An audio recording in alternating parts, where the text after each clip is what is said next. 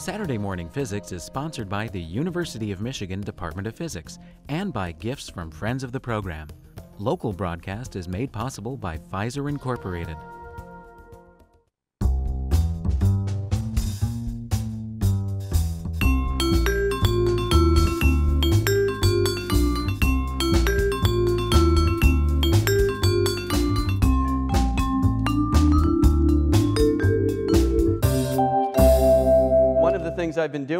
In organizing Saturday Morning Physics, particularly in the fall, is presenting the physics fact quizzes, and this is one of them from the fall, so I thought I'd let you revisit this. Um, the question is, what are neutrinos?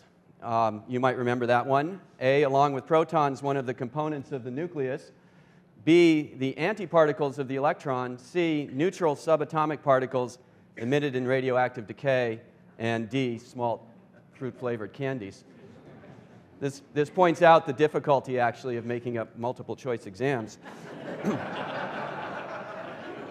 you have to find wrong answers as well. At any rate, how many think it's uh, A, B, C, or D? I guess we're telling you the answer is uh, C. Timed perfectly.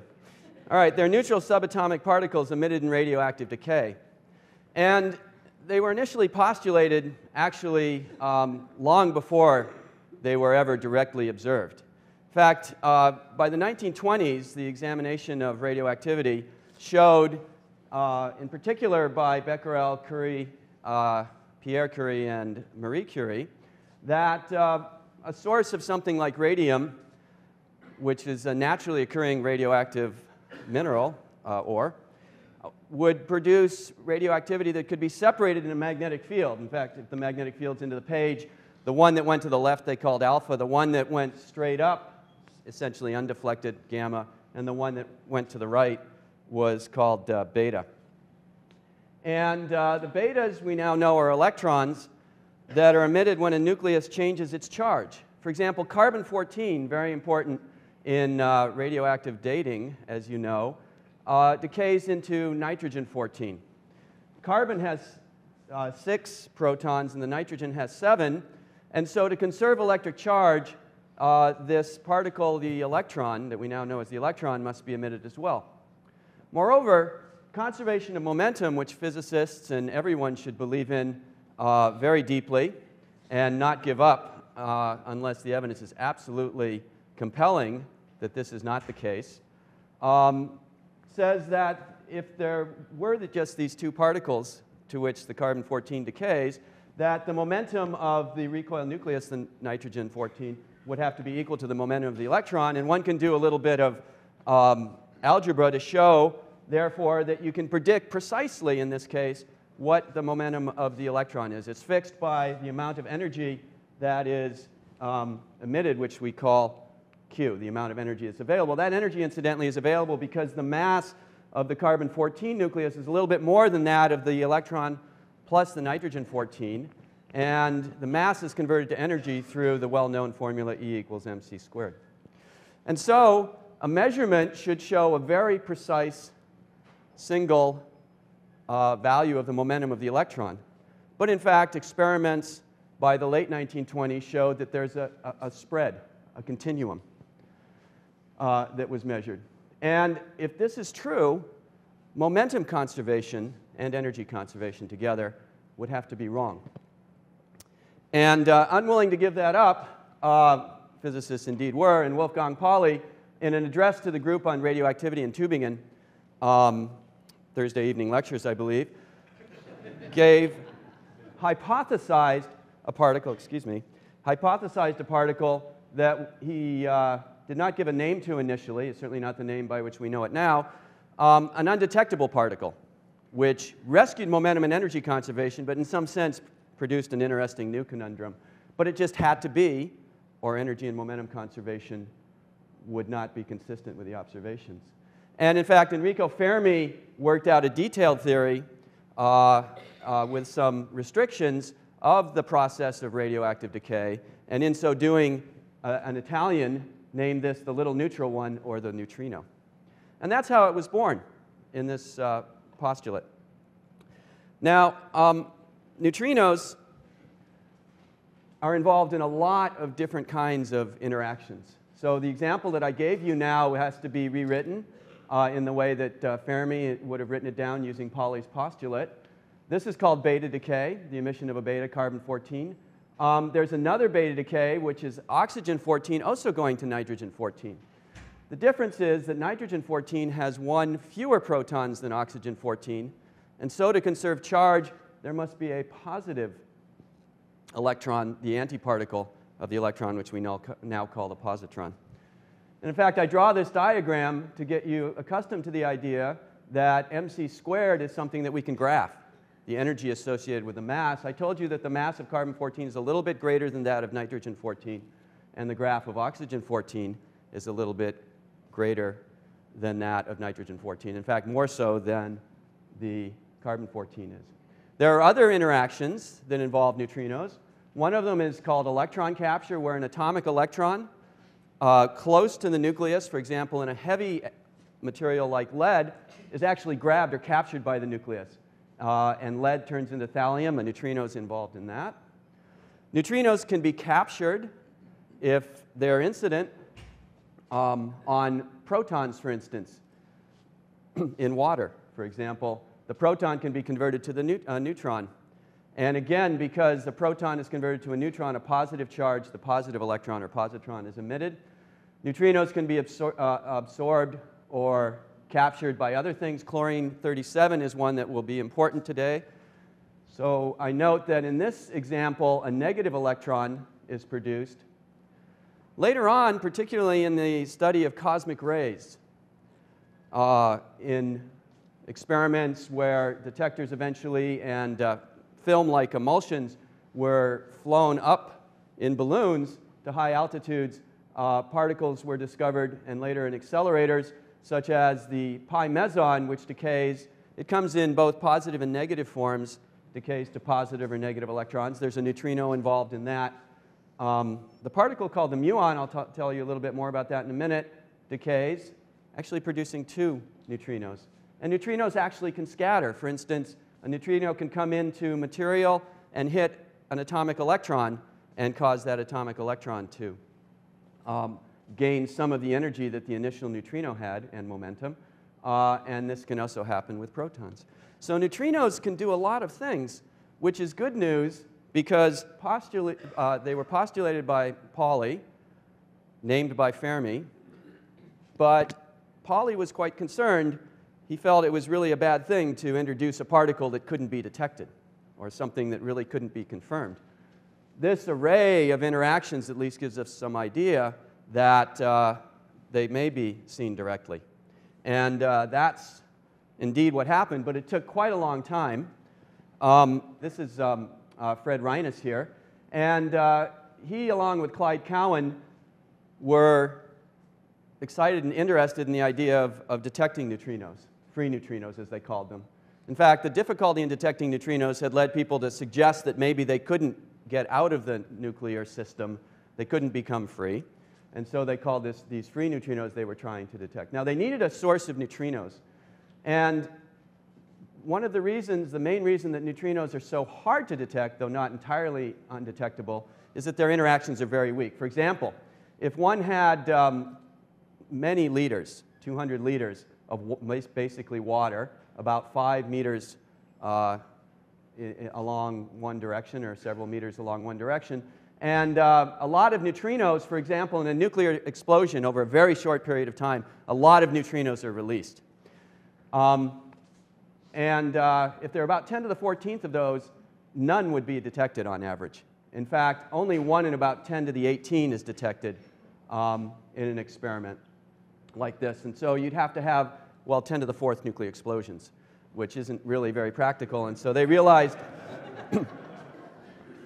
that a nuclear reactor would be a better source. It's continuous, and that's producing about 10 to the 14th per second. And so in a few hours, perhaps you could get one neutrino interaction in a big tank of water, as long as you could somehow detect it. And what um, and Cowan did was uh, used one of the neutrino interactions I mentioned, a neutrino being absorbed by a proton, producing a neutron. Neutrons are pretty easy to detect, particularly if you put a little cadmium in here. And uh, this is a positron, and that's the antiparticle of the electron, which is also easy to detect because it can, in the water, very easily find a negative electron, annihilate, and produce a very characteristic radiation, which is actually a pair of gamma rays of a very characteristic energy. So uh, they did this. Now, this experiment was uh, deep underground, and all neutrino experiments are. And in order to understand um, why that is, I want to uh, show you what happens here at sea level when we try to detect very rare events involving nuclear particles. This is a cloud chamber. Um, it's uh, it's encased here a little bit for shadow purposes. And um, the way this works is that there's a vapor in here um, above a liquid, which is very volatile, alcohol, for example, and, uh, and it's cooled. So the vapor is, is super saturated. It's just sitting there waiting to condense uh, back into the liquid form. But the condensation is most easily affected around when, when there's nucleation around some kind of change in there. And one of the main ways to change it is by producing ions, by tearing the electrons away from the atoms. And that can be done as high energy nuclear particles, uh, electrons, nuclei, or even cosmic ray muons, cosmic ray particles, pass through this. So what you can see here is that occasionally, certainly much more, you know, on the order of about once a second, there is a track through here. The camera is looking at a slight angle, so these tracks that are very straight are cosmic ray muons. And these provide a significant background in a neutrino experiment and would make it impossible to detect events that happen once an hour. We uh, contemplated exactly how to show everything we wanted to show. So we, we have some lead bricks here. We, we have just about two inches of lead here. And you can see that we really haven't changed things much. And if you did a detailed study, uh, it would be very hard to detect that there's any shielding here. So these experiments go deep underground, miles underground in some cases. This experiment of Reines and Cowan was actually done uh, underground. It was initially done uh, at the Hanford reactor in Washington, involved in production of, uh, of tritium and nuclear weapons material, and then moved to the Savannah River reactor, where they actually did succeed in showing in the early 1960s that uh, neutrinos really did come from these decays and, and that they were detectable. Okay, well, a lot has happened, uh, and the important conclusions are here. That there apparently are six kinds of neutrino. That's what I grew up believing. Um, in fact, we still believe that, but the six kinds of neutrino are not the same as what we learned about. So, one point is that when carbon 14 decays, there's a negative electron, and nitrogen 14 decays, and there's a positive electron. And we realize that this neutrino is in some way different from that. The neutrino associated with the making matter, the electron, is different than the neutrino associated with making antimatter, the positron. In fact, in this reaction, we name this one the antineutrino, and so we put a bar over it to call it the antineutrino. And that comes with the electron, and the neutrino comes with a positron in this kind of reaction. If we move the neutrino over to the other side in the neutrino capture type of reactions, we change an anti-neutrino to a neutrino or a neutrino to an antineutrino. But this turns out to be one of the reasons that neutrinos were not detected earlier because the detectors were set up to um, detect antineutrinos. and uh, if they were set up to detect neutrinos, reactors produce antineutrinos. And so Cowan and Reines succeeded because they made a detector that could detect antineutrinos. So there's at least these two, a neutrino and an antineutrino, that go with the electron and the anti-electron. But then the cosmic ray interactions and accelerator production of pi mesons and muons and the neutrinos associated with them turned out to be distinct from the neutrinos produced with electrons and positrons uh, they don't interact with protons. And so there's a special uh, separate kind of muon, neutrino that seems to come when the muon is produced. The muon is in ways distinct from the electron. In fact, that was kind of a, a puzzle uh, for quite a long time. Muons are a lot like electrons from a physicist's point of view. They're point like particles. Many of their properties that are related to their charge and mass can be predicted very precisely for the electron, completely in parallel with the muon. And it was a mystery uh, when it was first discovered why nature needed this particle. The modern view of particle physics is, is much broader, and uh, we feel that it makes a lot more sense now.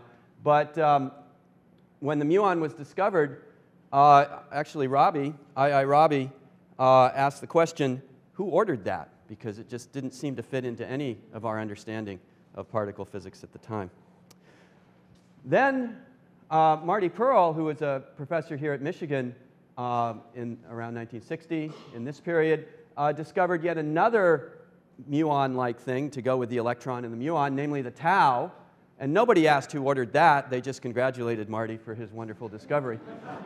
and actually, he shared the 1995 Nobel Prize with Fred Reines, who discovered uh, directly ne neutrinos. By then, Clyde Cowan had died, and as you may know, Nobel Prizes are not um, awarded to uh, deceased, the deceased.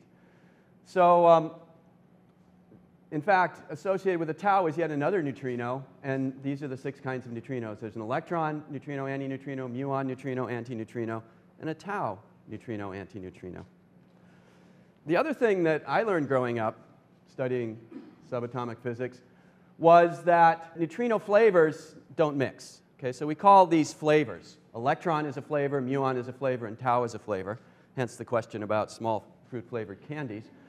The electron neutrino does not seem to interact or get together with the muon type of neutrino and, or with muons. And the tau similarly, and antineutrinos don't mix with either each other or with the other flavors of neutrino except through an interaction that was uh, really discovered in the 1970s, which are called neutral currents. So there is a class of neutrino interaction that is interesting. For instance, a muon neutrino could break up a heavy hydrogen, a deuteron, which is made up of a proton and neutron. So if the neutrino has enough energy, about 2 MeV, it can break up a deuteron, producing a free neutron which is detectable, and uh, the neutrino, however, uh, just sort of passes through, losing some energy and transferring some momentum. So that's called breakup. So let's uh, summarize here. The neutrinos are produced in these weak interactions, such as ones where protons change into neutrons. They hardly interact at all, and thus they're very, very hard to detect.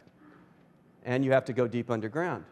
Um, neutrino interactions conserve flavor. That was the wisdom and uh, the neutrinos have a very small mass because their effects in all of these decays on the energy and momentum conservation are really beyond the level of precision of any experiment, though people have tried hard to directly measure the mass of the neutrino. So it's at least very small. Why not zero if it's so small? So presentation of neutrinos in all the textbooks that I studied, therefore, um, had massless neutrinos that conserved flavor and um, had been detected. And one of the main sources of neutrinos that people sought to detect them from was the sun itself. It has about 2 times 10 to the 30th kilograms of mass um, and a radius of 7 times 10 to the 8th meters. At the surface, its temperature is about 6,500 degrees Kelvin, which is almost the same as 6,500 degrees uh, centigrade or 11,000 degrees Fahrenheit. Fahrenheit. But at the core, its temperature is much, much higher. The energy uh, that produces this much, much higher temperature, of course, uh, even from the time, the 20s and earlier, Eddington, for example, suggested that this was and must have been due to a nuclear energy source just because of the energy scales involved. A nuclear energy source per interaction produces about an MeV, almost a million times more than a typical chemical energy interaction. Um, and we now know that this uh, must be provided by hydrogen fusion. The luminosity, the total power produced by the sun, is uh, 4 times 10 to the 26th watts. And that spreads out into all space at the surface of the Earth, the, the position of the Earth. It spreads out over a sphere that has a radius of one astronomical unit. And that's just perfect for us, as we know. It sustains life here on Earth. This is the fusion reaction in summary. There's a lot more detail I'll discuss in a moment, but basically four hydrogens, positively charged protons in essence, the nuclei, uh, repelling each other electrostatically as they get closer and closer together because the force goes like 1 over r squared. Nevertheless, they are coming at each other with sufficient speed because of the high temperature that they get close enough that the electrostatic interaction is overcome essentially when they're touching within 10 to the minus 15 meters of each other. They combine and actually form deuterium. But four of those come together, and ultimately a helium is made two neutrinos and two positive electrons. So this must involve a weak interaction. Um, the neutrino luminosity, one can calculate from the numbers that are shown here, it's a homework problem, is 1.8 times 10 to the 38th neutrinos per second. It's huge. And uh, as you can see, that's a, almost a trillion neutrinos per joule of energy that we get from the sun. And at the Earth, there are 6 times 10 to the 14th meters per second. That's about, it turns out to be about a, per meter squared per second, about 100 times less than the reactor flux that Reines uh, detected. So his detector could have seen about 1 100th of a neutrino in every hour, or 100 hours, four days per neutrino. Now, we understand the sun extremely well. Um, it's uh, spherical. There's a standard solar model that describes it as spherical because of the gravity uh, and hydrostatic equilibrium. The temperature presses, pushes outward, just as an expanding gas, and gravity pulls inward. Um, in fact, you could write an equation here. Stellar evolution is fairly uh, well-developed field, and the ideas of stellar evolution applied to the sun um, and the idea of, of ideas of dating that it's 4.6 billion years old, and making the assumption that what's now at the surface is the same thing that the sun was made of when it started 4.6 billion years ago. At the core of the sun, the some of the hydrogen is changed into helium. But out at the surface, um, that tells us what's going on. And also that the luminosity that we measure now tells us what's going on at the core of the sun right now. Now, that's a very, very uh, interesting assumption because the sun's core, we can't see it. It's very opaque. In fact, it's, it's a glowing core, so it's incandescent at very high temperature, millions of degrees, 15, millions of, of de 15 million degrees. And so the light or photons that are produced near the core of the sun actually don't go very far before they interact. And so they make this sort of random walk out. It turns out that the photons essentially rapidly come into thermal equilibrium with wherever they are as they move out, and it takes thousands, tens of thousands of years uh, for them to get out uh, from the center of the sun. Convection plays a role in this as well, that there are cells of matter moving around in the sun, of course, um, as well. So it, but it nevertheless takes tens of thousands, maybe 100,000 years for us to learn about what's going on at the core of the sun. The neutrinos take two seconds to get to the surface of the sun, essentially unimpeded. A few of them um, are absorbed. And uh, so they can tell us directly what's happening at the core of the sun, at least eight minutes ago, which is how long it takes the neutrinos to get from the center of the sun, from the surface of the sun uh, to a detector on Earth. So the idea of looking at the neutrinos is one, uh, from the sun, is one of really looking today at what's happening. Okay, so this uh, is a more detailed picture of what happens when, uh, how this series of reactions happen in the core of the sun that have hydrogen turning into helium.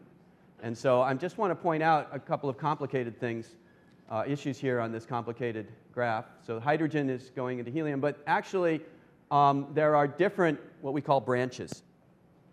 99.75% of the time we believe that two hydrogens come together and make um, deuterium, but uh, a quarter of a percent of the time we think a uh, negative electron is captured by hydrogen and making deuterium. Both these involve neutrinos. Neutrinos are involved in weak interactions. This is actually the rate limiting uh, step here, this very first step. It determines the rate at which hydrogen is turning into helium in the core of the sun, and therefore it really determines the rate at which energy is being emitted from the sun, the solar luminosity. Hydrogen combines with uh, deuterium to make helium 3, and then a couple of helium 3s come together to make helium 4. That happens 86% of the time. Or 14% of the time, the helium 3 can find another helium 4 there. There was a little helium 4 to begin with, and there's more now, making a beryllium 7 and a gamma ray. And uh, the beryllium 7 can capture two one hundredths of a percent of the time a hydrogen to make a boron 8. Boron 8 decays in an interaction involving a positron and a neutrino. And these are not antineutrinos, these are neutrinos in every step because they're involved with positrons producing uh, helium 4. There's also some uh, contribution due to what's called the CNO cycle that was elucidated by Hans Bethe, uh, who died about a month ago. Uh, but this is quite complicated, as you can see, but very well understood. Every aspect of this, the arrows that represent how the probability of these happening uh, are well measured, and so on. Um, and so there's actually a spectrum of neutrinos from the sun. Some of them coming, for example, most of them, this is a logarithmic plot, so this is a factor of a trillion here. Each one of these is a factor of 10. By far, the most neutrinos come from two protons coming together. But this is the neutrino energy. Those neutrinos have very low energy. There are some lines of neutrinos here from some of these interactions, and then there are continua here. In particular, the important one is the very last step that I showed you, what we call the boron 8 neutrinos coming from that interaction. There are a lot of possible detectors to see this neutrino, and one of them I wrote down for you before is a neutrino plus a chlorine 37 nucleus can make argon 37 plus uh, a negative electron. And uh, this was pointed out by Alvarez Pontecorvo and then Ray Davis and John Bahcall uh, in the late 50s and 60s, um, really looked in, a, in detail at the possibility of doing this and decided actually it might be possible.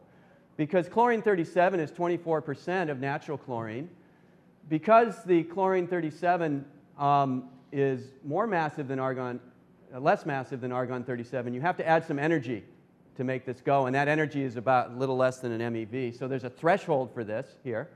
So the neutrinos with energy greater than this threshold could be measured in this way. Of course, it has to be deep underground. 1,500 meters was accessible at a gold mine in, gold mine in South Dakota. And um, all you needed to do was, uh, for about a month, which is the half-life of the argon 37, let the detector sit there and uh, expect a few argon atoms and then uh, remove them and count them. So they had uh, actually 600 tons of this is essentially cleaning fluid. So it wasn't very expensive. You could buy a lot of it. And uh, every six days they expected one atom. Every month they went and looked for about five, therefore.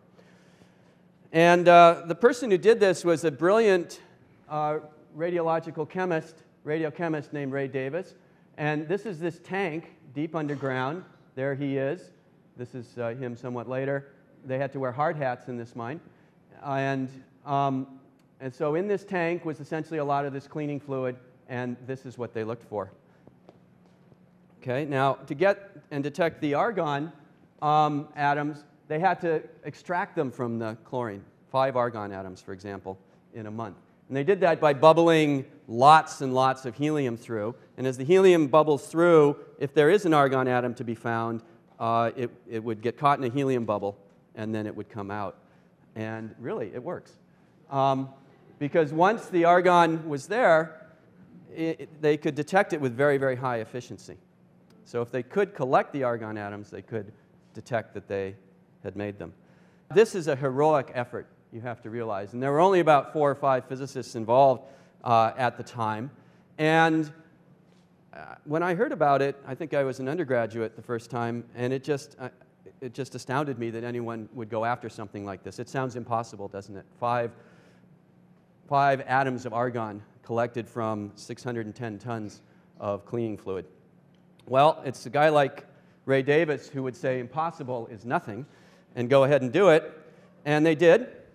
The ex expectation this is um, the number of atoms per day and uh, the, uh, that were actually expected in, in this experiment. So I drew a line there John Bahcall invented a unit called the solar neutrino unit, SNU, which is a certain number of, of atoms produced or neutrino interactions per 10 to the 36th target atoms per day.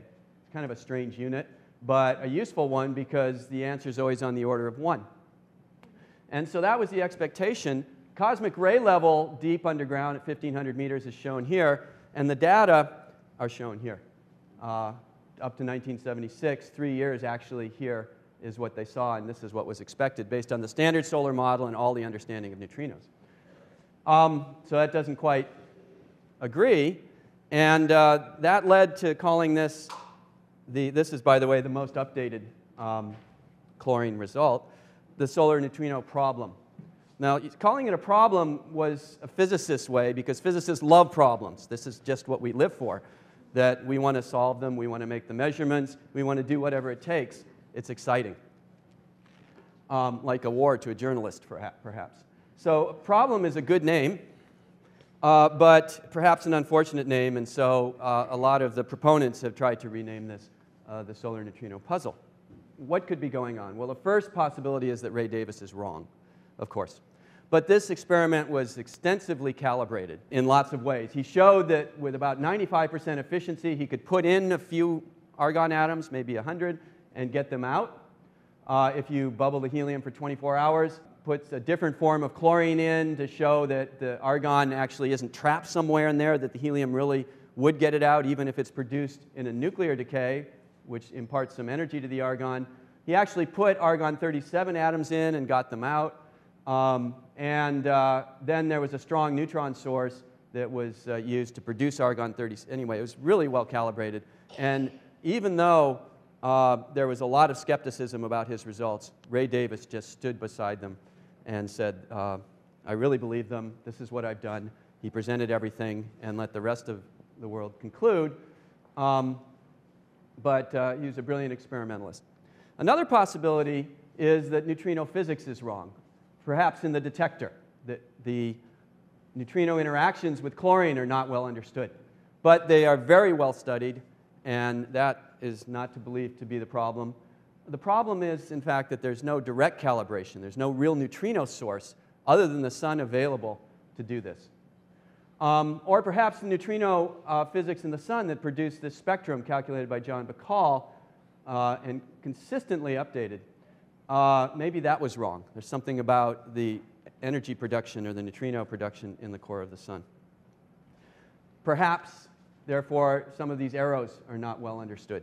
In fact, it's the boron 8 neutrinos, so this is the direct way to the boron 8 neutrinos, which is the most complicated of all processes that uh, led to some confusion. And then every few years, there were just piles of papers, and uh, this one, in fact, uh, has my name on it. Um, and uh, this addresses directly the possibility that one, some of the neutrino physics is wrong, but in fact, the solar neutrino problem just plain persisted. Is the standard solar model incorrect? Well, John Bahcall has made a career out of doing, putting this all together with the standard solar model and making these calculations. Um, there's extremely strong temperature dependence, the temperature to the 13th power in the production of boron 8 neutrinos. So if the temperature are off by some small fraction, nevertheless, tens of thousands of degrees, um, that, that could explain it, but that's just too big a temperature error at the center of the sun to explain the current sun in equilibrium um, as we understand it. In equilibrium is key. Maybe the sun is changing rather rapidly. It takes 10,000 years for us to learn that the sun may be cooling at the core of its center, tens of thousands of years. So perhaps the neutrinos are telling us what's going to, what we're going to experience 10,000 years from now. A lot, much cooler sun by a factor of about three. Uh, that could be a concern to some.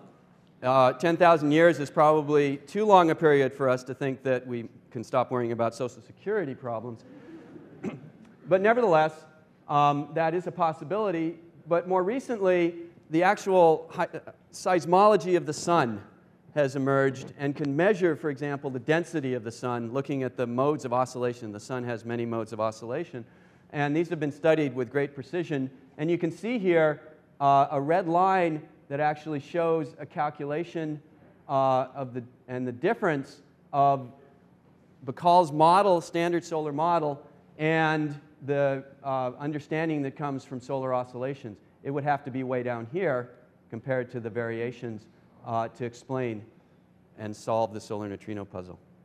So Davis and Bahcall had stood by their results for a long time in the face of great uh, skepticism. But nevertheless, experimenters have to step in and say the boron 8 neutrinos could still have uncertainties we haven't thought of. They certainly have a 16% error here. If only we could measure the lower energy part of the spectrum where there are a million times more neutrinos. And that's one thing that people set out to do. And therefore, a, an experiment that's similar in a way to the chlorine experiment but used gallium has a much lower threshold. So a couple of people set out to do, uh, groups set out to do this. Gallium is extremely expensive. In fact, there were two experiments. It's a strategic material uh, because of the uh, uh weapons implications of it, which I won't go into. The, um, but it uh, costs uh, thousands of dollars per kilogram. And so to make a large quantity of gallium, uh, in fact, it had to be borrowed. And the Soviet Union had a lot of it. Uh, and um, so a collaboration of uh, the Soviet Union then at the time and America, you can tell that this started before 1991, called SAGE, made a measurement. And then another group in Europe, deep underground in Italy, near Rome, in the Gran Sasso Tunnel, called GALLEX, uh, did their measurements and here is the expectation of the standard solar model, and here is the result. And the discrepancy persists even for much lower energy neutrinos. In fact, this is about uh, one half to two thirds of the standard solar model. So it's a little bit more than that. Another class of detector is called the Cherenkov detector. This is pretty cool. Cherenkov radiation is produced in a way that's very similar to what happens when a bullet goes through the air supersonically. It produces a, a shock wave that propagates backwards from the, the bullet like this because the sound can't propagate as fast as the bullet's moving. A boat in the water, uh, it can easily go faster than the speed of waves on the surface of the water. And an electron that's moving through a material like water can easily be going close to the speed of light, but in a material, the speed of light is significantly less. Uh, in water, it's about uh, three fourths the speed of light in a vacuum. And if that happens, the bow wave is produced, and uh, from each point here, the waves propagate outwards. This, if the electron is here, then uh, this is the most recent wave propagating outward. This is a little earlier one, a little earlier, a little earlier, a little earlier, and so on. And if you have an array of detectors here that can actually detect the light that's produced, then there's a, a ring. If you take and rotate this around like this, there's an actual ring of what we call hits on the detector. And uh, if you look at one period in time, you'd see a ring. And that's the principle of these Cherenkov detectors. The very first one of these was actually um, strongly dependent on Michigan physicists. It was called the Irvine Michigan Brookhaven collaboration.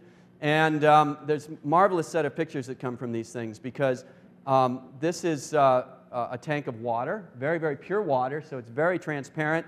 And to do the physics, you have to uh, uh, be a diver, in part. So those of you who like diving and think physics is cool might consider a career in, in this. These here, are all arrayed around here, are photodetectors. I have an example here of one. It's very fragile, too, so I'll be careful with it. To give you an idea, the light hits the front face, and um, then there's uh, an electronic signal, in essence, that comes out the back. And these plastic things here are to help collect the light a little bit more. If the light hits this plastic, it can get transferred to this tube as well. Because the bigger these tubes get, the more expensive they get, um, at least in proportion to their area, if not their volume. Uh, and so an experiment like this, it really raises the scale of such an experiment. But note there's still basically about a dozen people involved in this. Now, this experiment actually was not designed initially to uh, look for uh, solar neutrinos, it was decided to see if the proton itself is a stable object. And in particular, it wanted to see if a proton would decay into a pi meson and an electron. In 1987, for a, an instant, there was a source of neutrinos, for about 10 seconds actually, that was much greater than the sun, and that was the supernova uh, 1987A, a real gift to astronomy and science.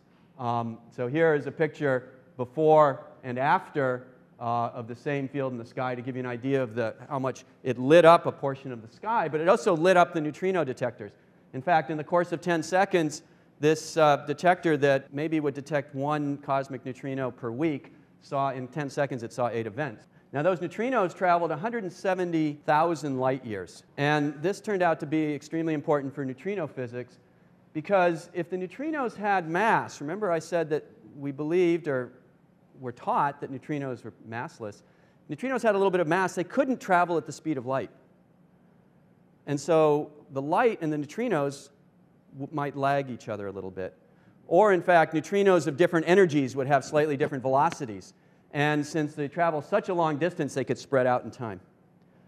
Now, unfortunately, these, this detector and the other detector that saw these neutrinos from the supernova 1987A were not set up to do the timing precisely enough to tell us enough about neutrinos, but it was an extremely exciting time, and they did manage to set a limit on the mass of the uh, neutrinos that were produced in the supernova. These detectors can detect these neutrinos, and they have a threshold that depends on the kind of neutrino and uh, the neutrino energy. And this really is just a technical aspect of the detector in, in most cases. But they can, these are also can be used for neutrino detection. And this one, this is uh, for the canoeists, I guess. Um, they're just filling this detector with water, and this is Kamiokande. It's in Japan and uh, it was uh, super, uh, superseded. After it came something called Super K, and um, these are all the phototubes here, and they're filling it with water. So you get wonderful pictures.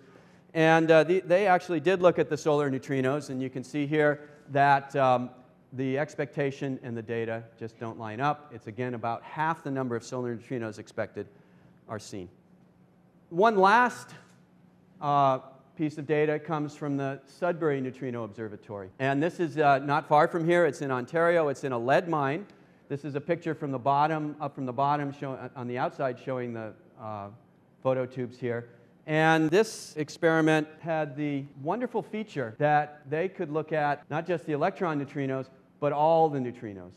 They are sensitive also to muon neutrinos as well as any other kind of neutrino through the process called neutral currents. And that really works. Super Kamiokande and the results from this SNO detector uh, can look at different kinds of neutrino interactions. The ones that are only sensitive to the electron neutrino, and that's along the horizontal axis. And then the ones that are sensitive to any kind of neutrino, muon or even the tau neutrino here. The electron neutrinos from the sun are in deficit, but the total number of neutrinos works just perfectly, meets the standard solar model. So that tells us that, in fact, the answer to the solar neutrino puzzle is that it's the neutrinos. What's happening? Well, in the sun, it's electron neutrinos that are produced, but at the Earth, only half of those are detected. Somewhere in between, something happens. To explain to you what happens, which is called uh, neutrino oscillations, first predicted by Bruno Pontecorvo and discussed by him, I have to uh, spend the rest of my time telling you about the quantum mechanics of neutrinos. Quantum mechanics, of course, the core theory of uh, modern physics, subatomic physics, and atomic physics. And um, there are a few things that I'll, I'll, remind you of. One of them is uh, that quantum systems have discrete states or quantum levels, that transitions are in some way quantized. Now, there are many physicists who have a, a very deep understanding of quantum mechanics, but that deep understanding comes from a basic system that we use as a model system. And it's not the chlorine atom or the sodium atom or the deuterium nucleus. It's very generic. It's the two-state system. That's what we call it. So uh, I'll give you some examples, though, of a two-state system. Uh, one of them is uh, just the atom itself. Well, that's not really a two-state system. It's a many-state system, but we are so wed to the intuition that we gain and keep from the two-state system that we even try to turn a very complicated system with many levels like an atom into a two-state system. In fact, it's only two states that are involved in the atomic physics of this laser pointer being able to produce red and this laser pointer being able to produce green light. Just two states. So even though it's a complicated material in here with many levels and many transitions, a laser is an example of how two states can be uh, most important. And in nuclei, gamma rays uh, are emitted when uh, a nucleus decays from a higher energy level to a lower energy level. NMR is based on the two-state system of spins, actually proton spins, spin up and spin down. And uh, we even think of a system like the neutron and proton, nuclear particles that have very similar masses as a two-state system, believe it or not, that have a small difference in their mass and therefore a small difference in energy levels given by the mass difference times c squared, E equals mc squared. And now we're going to consider the two-state system of neutrinos. So let me call one neutrino 1 and one neutrino 2, thing 1 and thing 2. And um, remember that the, actually I, I, do want to show you this uh, demonstration here, which is going to do a little bit to convince you um, about one important feature of quantum mechanics beyond the two states, namely that in addition to energy levels, quantum mechanics wants to treat particles, such as atoms, neutrinos, electrons, and so on, as waves, that we have this treatment.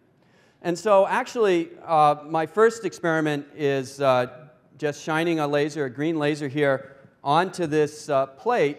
That green laser is passing through some powder that's dispersed on a little plate here. And each particle of the powder, which is called lycopodium powder, is very small and it shadows the light.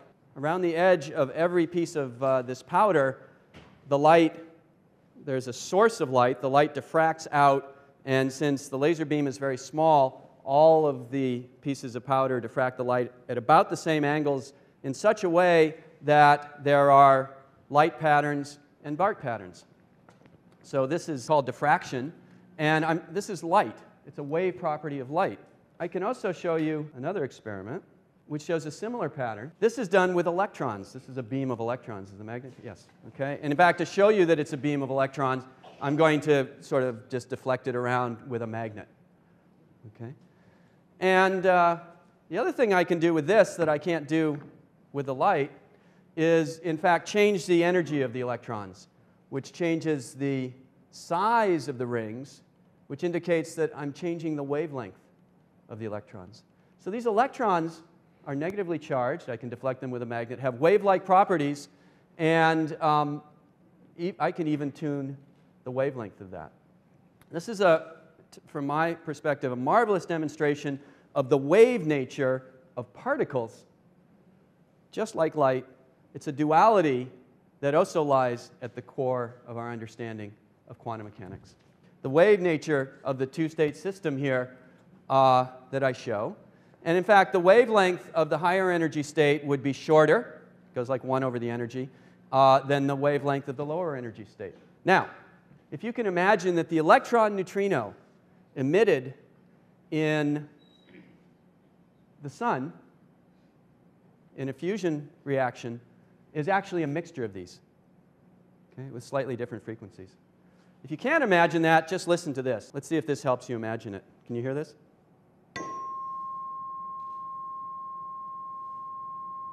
That's a frequency and a wavelength. You hear that too? Okay? It's about the same, but it's actually slightly different. Let me do the two together, okay? So that what you hear is a mixture. And if you hear something that you're detecting, let's say, in analogy, the electron neutrino, okay?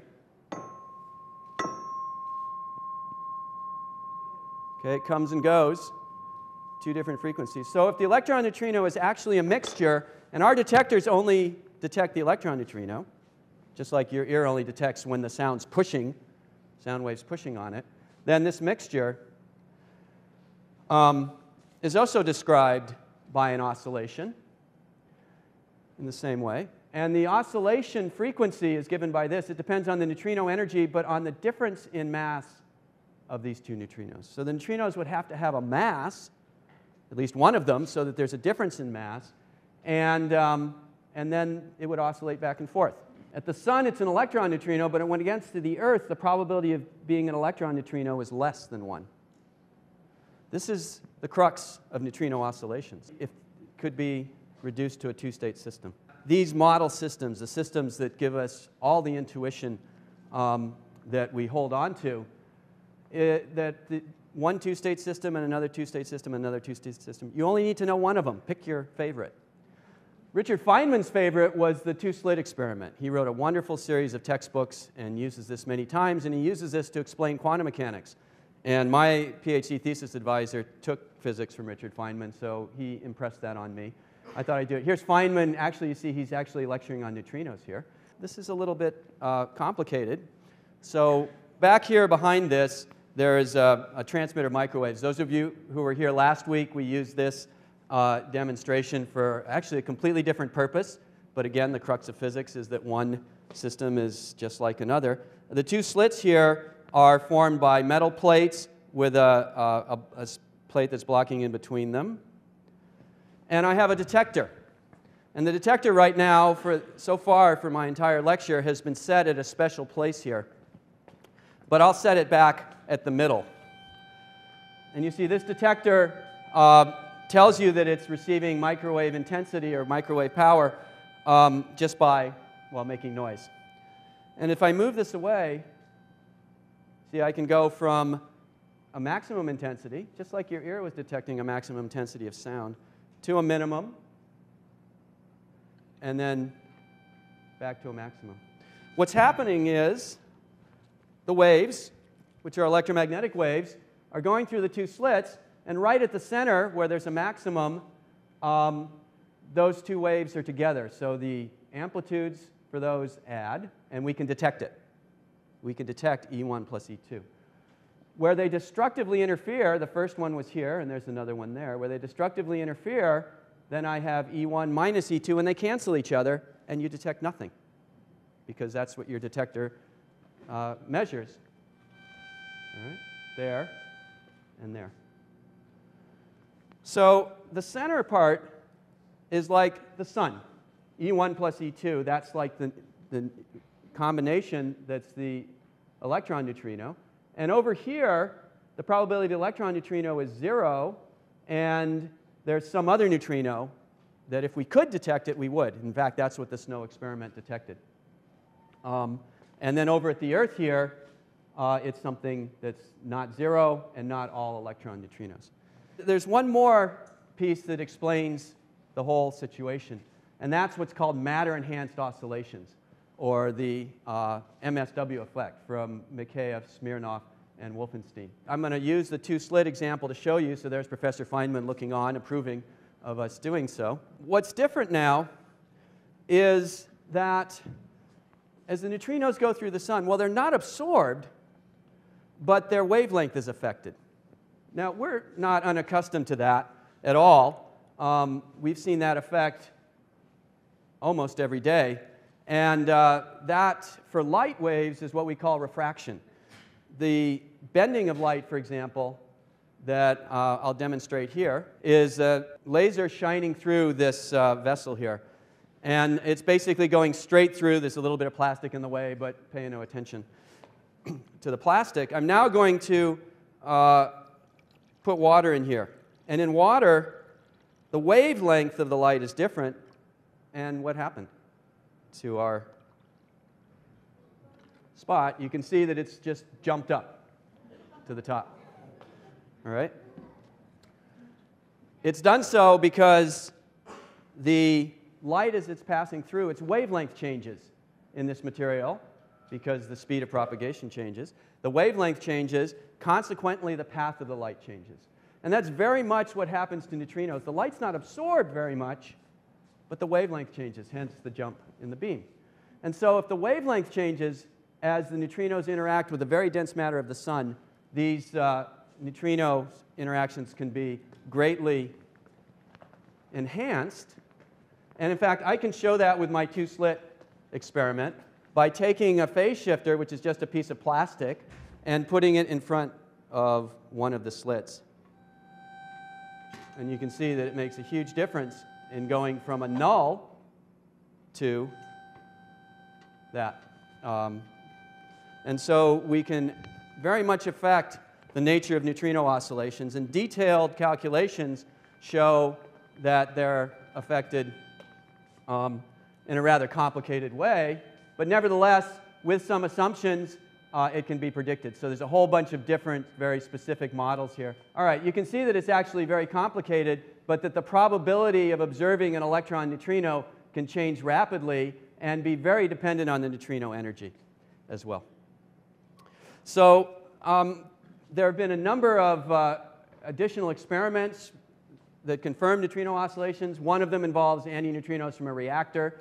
The best data come from uh, actually building a detector in the center of an array of nuclear power plants in Japan called KamLAND, the experiment. And, um, and then here's a particular model here shown in the dotted line that runs through their data point uh, that the neutrinos observed are significantly less than those expected to have been produced by the reactors. There's accelerator searches that actually look for the muon electron changing into the electron neutrino. These muon neutrinos are produced in accelerators. And um, this, there's a, an allowed region here. And there's the delta m squared. And one of the interesting conundrums is that if we can see the muon neutrino changing into the electron neutrino, but the change of the electron neutrino into neutrino X, such as is shown here, has a very different delta m squared. So these aren't quite consistent. And so our understanding of neutrinos has changed radically.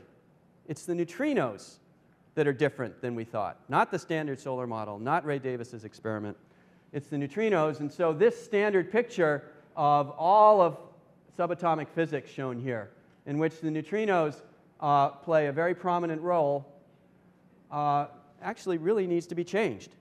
We don't know exactly how yet. The standard solar model works exceedingly well, and our understanding of the sun is essential to all of studies of astrophysics of stars, stellar evolution, from star formation all the way to supernovae. So we have a lot more confidence in that. The boron 8 neutrino flux, the highest part of the spectrum, is consistent with the standard solar model. Uh, neutrinos oscillate. Antineutrinos produced in reactors oscillate also. And neutrinos produced in uh, cosmic rays or in accelerator experiments also oscillate into something we're not sure what. So we don't know that these are the same. And most impressive to me in a way is that they really got it right. People doubted them, doubted them, doubted them again, but they stuck to it and they were right. But there's really a lot left to do, and so let me just uh, leave this up here uh, to say what's next. What's next is we really have to fill in a lot of the pieces. What really is delta m squared? What about, I talked about the two state system, but there's a third neutrino which much, must mix in. How does it do it? Neutrino spectroscopy, neutrino physics from the sun will go on, as well as cosmic neutrino detectors. These are really kind of interesting. Amanda has drilled a bunch of holes in the, in the ice, cores in the ice in Antarctica. And so instead of a big tank of water, they're using the Antarctic ice sheet as their Cherenkov detector and uh, drop the phototubes down there. And uh, this one, Antares, is uh, in the Mediterranean Sea, which is uh, warmer and but the physicists are just as avid for each of them. and finally, the particle physics of neutrino mixing uh, needs to be incorporated into the standard model. So thanks.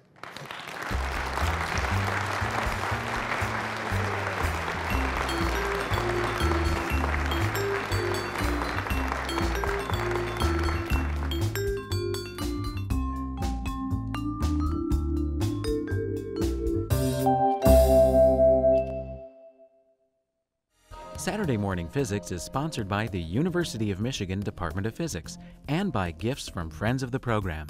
Local broadcast is made possible by Pfizer Incorporated.